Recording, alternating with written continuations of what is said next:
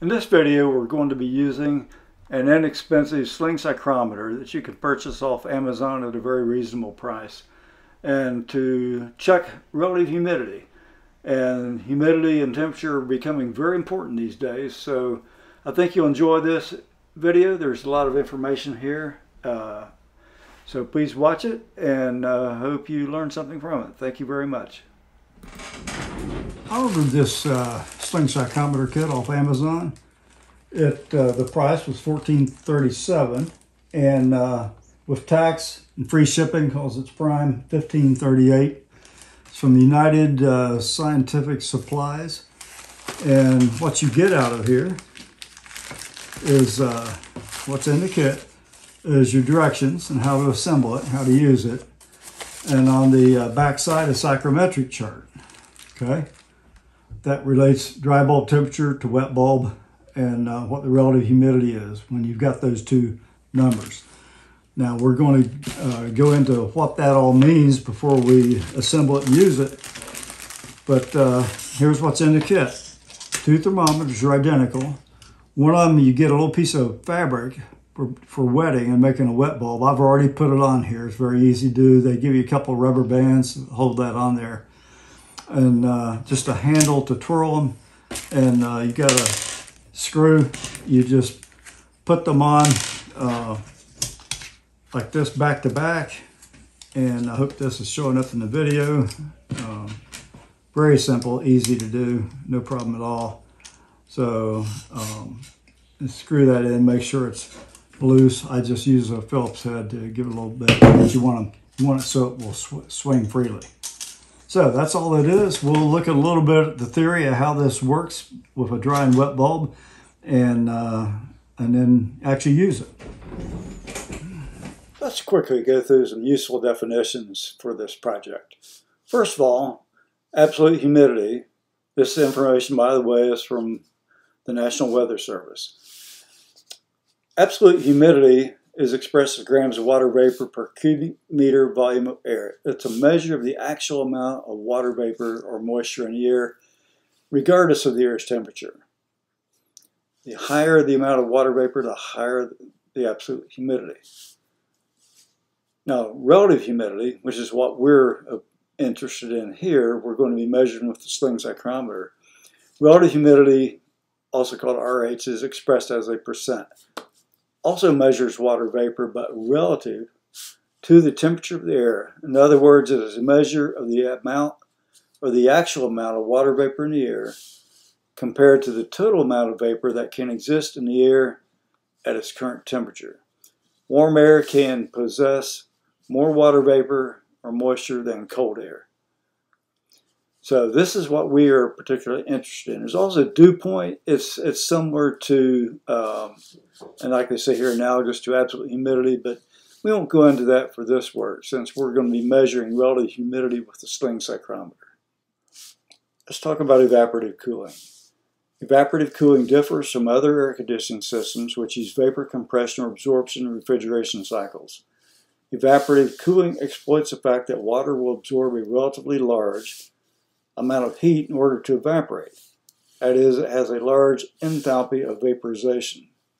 Temperature of dry air can be dropped significantly through the phase transition of liquid water to water vapor or evaporation. This is from Wikipedia. A good article, you should read it.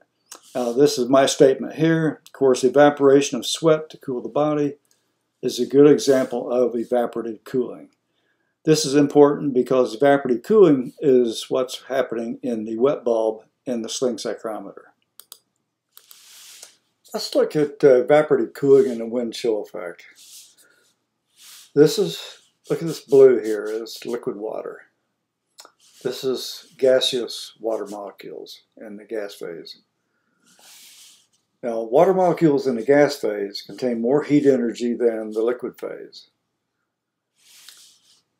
and water molecules evaporating from the surface of the water basically take heat energy from the liquid phase, causing it to cool.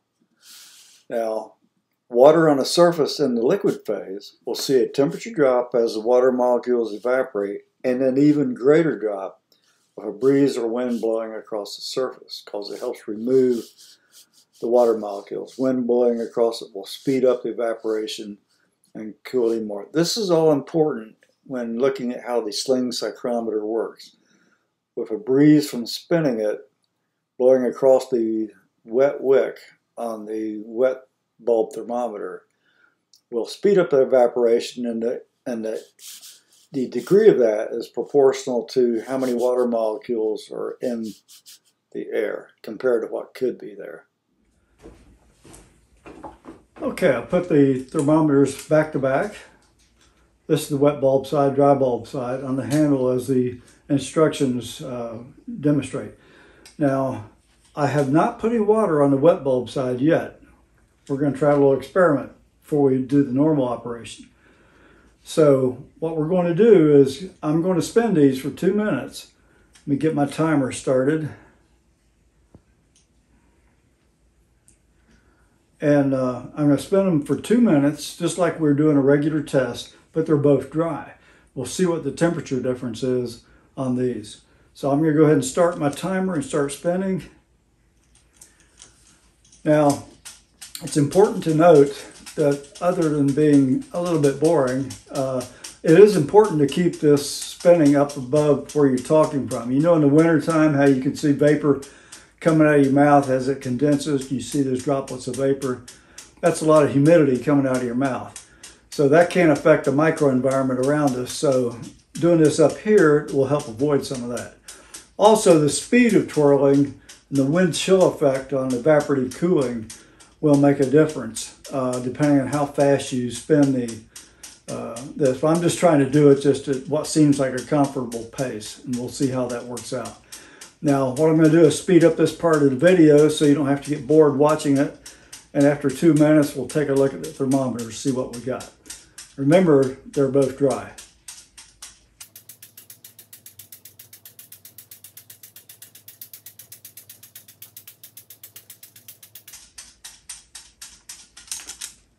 Okay, that's been two minutes. We'll take a look at these thermometers. I'm going to come around to the other side so we can see them in the camera. This one we're looking at now is what would have been the wet bulb side, but it's dry bulb because we didn't wet it. If you look very carefully, hopefully you can see that, it's reading right at 24 degrees Celsius. Let's turn it around, see what the other one looks like. Okay, it's also dry because there's no wick on it. It's 24 degrees Celsius, no difference. Now, the reason is there is no wind chill effect because these things aren't hot. They're the same temperature as the ambient air temperature. There's no evaporative cooling effect because I did not put water on that one. So what we're going to do now is put some droplets of water on this wet one and repeat the experiment and see what we get. Okay, I'm putting a few drops, I'm using distilled water, that's best. That way you won't get a residue after it evaporates.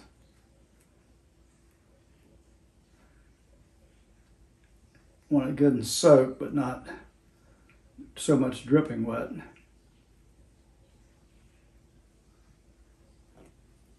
Okay, I think that's good. Now I'm going to repeat it. I'm going to set my timer on my watch for two minutes. Well, I'm going to watch it until it hits two minutes and, and we'll stop it. So here we go.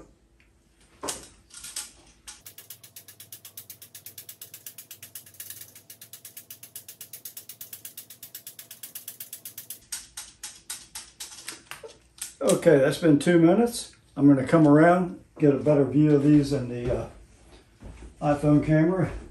These thermometers are only accurate plus or minus 2 degrees Celsius. So we have to estimate when they're in when it's in between. So I'd say about uh, it's right in between 22 and 20, so we're reading about 21. Now the dry one is still reading 24, just like before. So we'll take a look at that on a psychrometric chart and see what it says. Okay, we're going to go with uh, 21 degrees on the uh, wet bulb temperature and slightly over 24 on the dry bulb. Now it's much easier to do this on the psychrometric chart. That's dry bulb temperature, wet bulb. If you got a ruler like this, kind of line things up. So I'm going to set this on a dry bulb temperature of slightly higher than 24.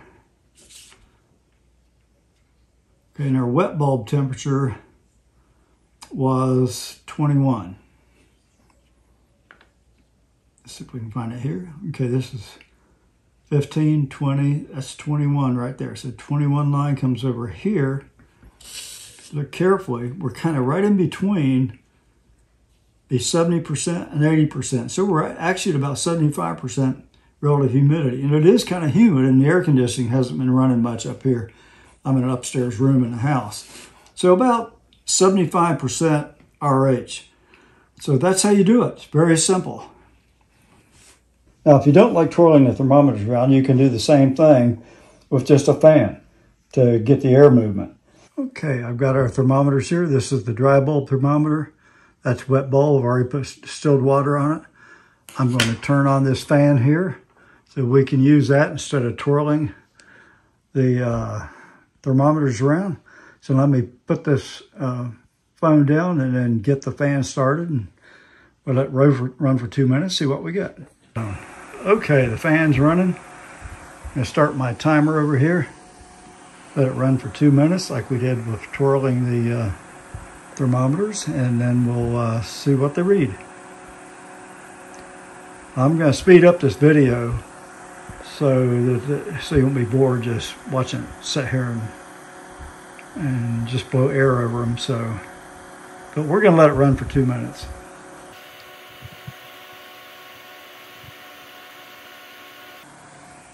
Okay, it's two minutes. Let's go ahead and read these thermometers and see what they indicate.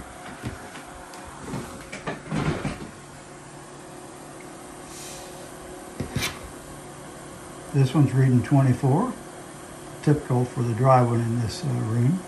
Actually, no, it's not. It's reading a little bit warmer. It's reading halfway between 24 and 26, so about 25. This one the wet bulb one is reading halfway between 20 and 22, so about 21.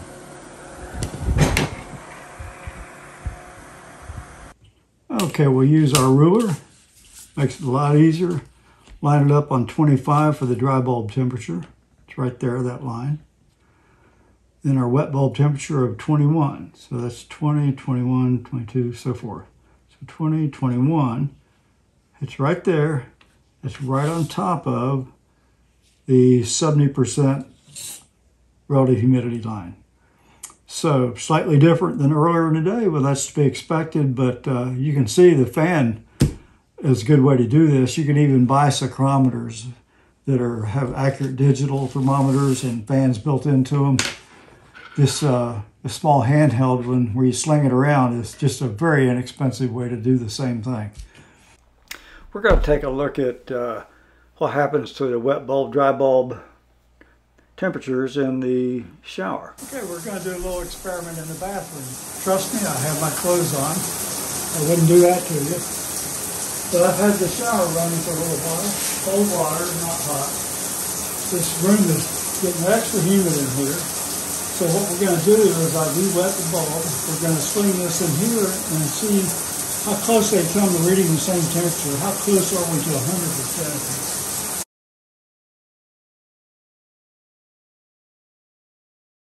Okay, two minutes. Let's look at our wet bulb temperature.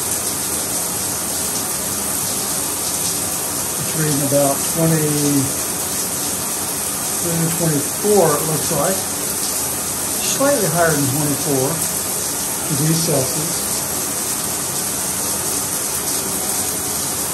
and slightly higher than 24 degrees Celsius. Close to 100% relative humidity.